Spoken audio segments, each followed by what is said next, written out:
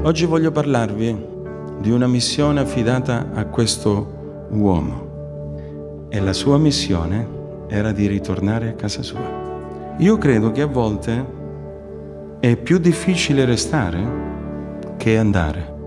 È più difficile restare che andare in un altro luogo. La realtà è che questa missione che sta affidando a questo uomo è soltanto per uomini che sono fedeli. C'è una generazione di servitori che hanno dimenticato che prima si parte dalle cose minime. Perché se uno è fedele nelle cose minime, sarà fedele anche nelle grandi. Ma prima che Dio ti affidi un compito di grande responsabilità, ricordati, Dio vuole vedere la tua fedeltà.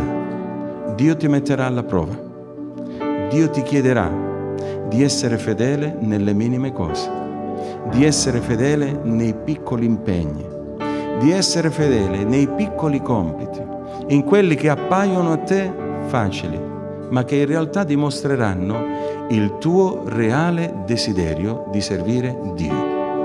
Se vuoi servire Dio, se vuoi amare Dio, se vuoi seguire Gesù, non rifiutare nulla.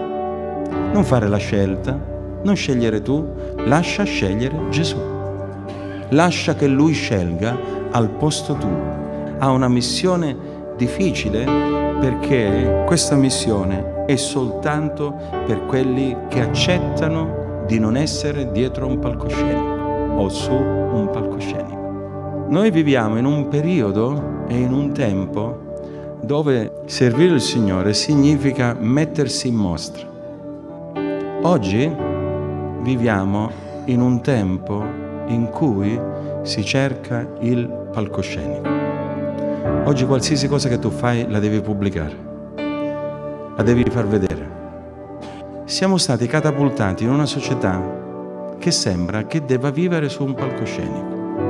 E a volte anche i servi di Dio si mettono su un palcoscenico e stanno dietro a internet.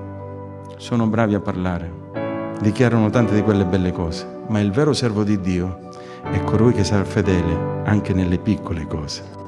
Abbiamo bisogno di essere uomini e donne disposti a servire anche nel silenzio.